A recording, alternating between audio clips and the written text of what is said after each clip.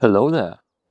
So firstly, I really want to thank you all for 43,000 subscribers, which is really crazy. I know probably 95% of you subscribed for the fantasy build, specifically the whip swords. And judging by how my last video performed, um, I guess some of you are not very interested in other stuff. But I think that's also kind of my fault because I didn't really talk about how I plan to move forward with this channel. No, wait, don't rush to the unsubscribe button. I'm obviously continuing um, the fantasy builds, especially the whip sword. As of right now, I've got at least three different iterations of the whip sword that I want to get into, as well as some other projects. The next fantasy build I'll be doing won't be a whip sword, but I think it will be just as cool and it will also be sort of two-in-one weapon. What I want to do, however, is kind of change up how I go about these videos. I think the videos are pretty cool and I'd love to do more of them, but you know, you can imagine working two to three months on one video, kind of with YouTube isn't very sustainable because I can't upload as much. I'm not a huge fan of it, but I think I'll, I'll do multi-part videos where it's necessary, especially with the whip sword videos. Both of them could easily have been 45 minutes and I've cut out a lot um, and it's still, I mean, I know how much you guys watched it and I think the, the whip katana is at 9% retention rate. So that's a little bit sad, but it, that also tells me that obviously it's a bit too long and I get it. When I'm on YouTube, I, I, don't necessarily spend 30 minutes on a video of some guy that I don't even know. I think you sort of have to earn that trust from the viewers. And I'm aiming towards, as I said, 45 minutes I'm aiming towards three videos. That way I can keep it a little bit more entertaining and short while also having enough time to, for example, in the third part, properly test the weapon because that's something that very many people didn't really like, that I only test the product so little.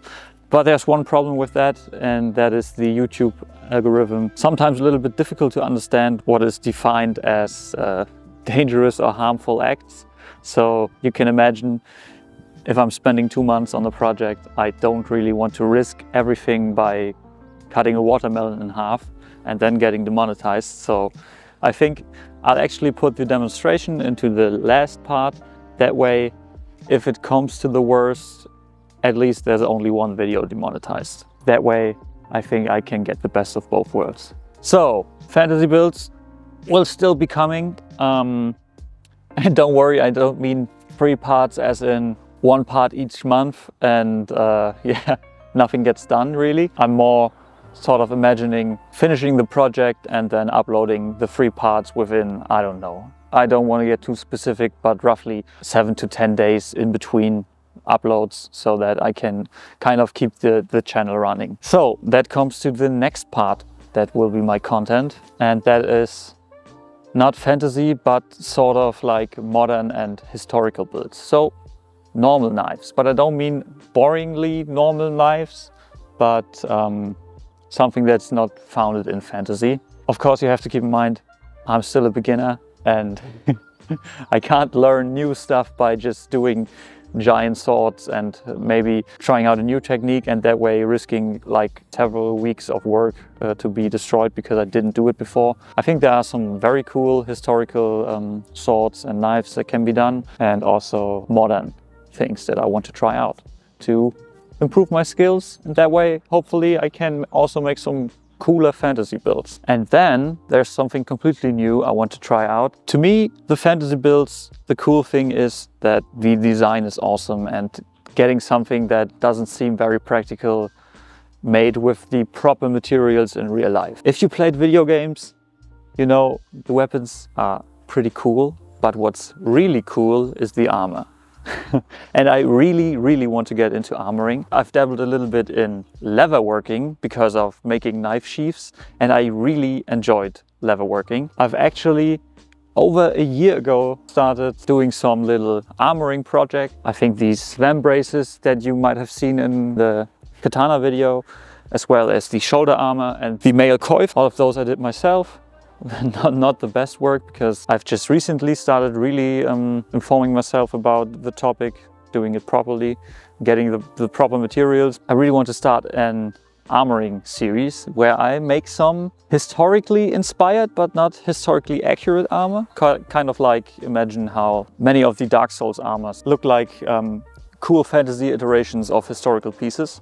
And that's sort of like what I'm trying to go for. The first series I want to make is a sort of medium type armor, which is uh, primarily made of leather, scale, tiny little plates, maybe for the gauntlets, let's see. And now don't be afraid that because of that, the fantasy builds will be even further apart because I'm now doing different things. I've been doing these things, but I've just didn't record it. So I think it could be pretty cool to have some more content. You can sort of like see it as the fantasy builds are still coming with the same spacing, but there's different stuff in between. And one thing very important I want to say even if you're not really into armoring or knife making. I did a lot of thinking lately about how I go about my videos. I, I set out to be sort of like more of an entertaining channel rather than a how-to step-by-step tutorial guide, whatever. I've been a little bit lackluster in that, especially with the last video. While editing, I thought it was absolutely exciting. Everything was very interesting, but um, after seeing how badly it performed,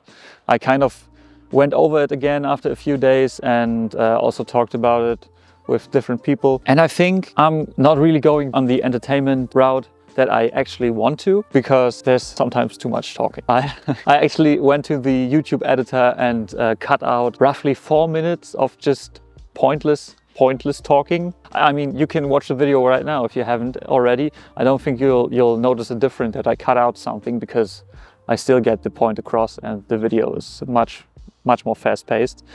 Uh, and that's something I want to be a little bit better with uh, in the future, doing entertaining stuff. But since I learned everything I know about knife making and now starting with armoring from YouTube, I also want to give back a little bit. Most of the time when I'm watching something, I also want to, to know how it's done, but you know, that's my hobby. So obviously it interests me and I don't want to bore the people that just want to maybe see how it's made uh, without really wanting to learn about it. I think I've got a pretty cool solution. I've actually started a second channel called No Bull Tutorials. That's where I'll be uploading short tutorials with stuff I did in the main video. And with No Bull, I mean it's just aimed to be one to two minute videos without talking about anything personal whatsoever. Going over how, I don't know, I repainted my shed before talking about how something is done. Because if there's one thing that really, really annoys me.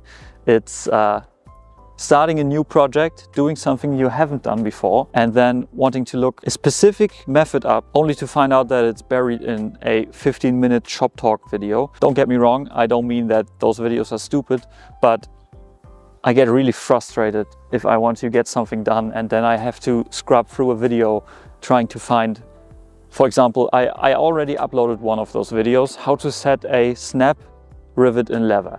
It's just, it's, it's ridiculously easy, but you have to know which parts you need and where to put them whatsoever. This is a 30 second thing and I haven't found a single video that's under five minutes long just explaining how it's done.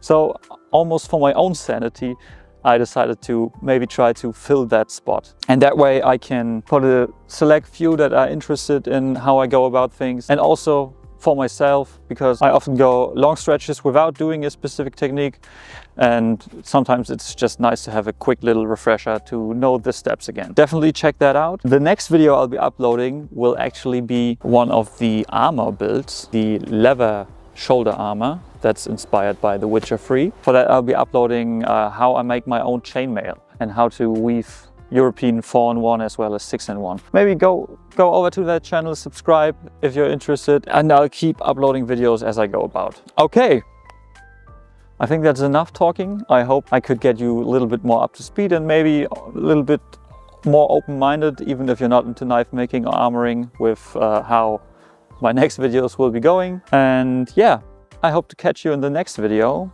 where we'll be going over how effective fantasy armor really is. Okay. Thanks for watching. Bye.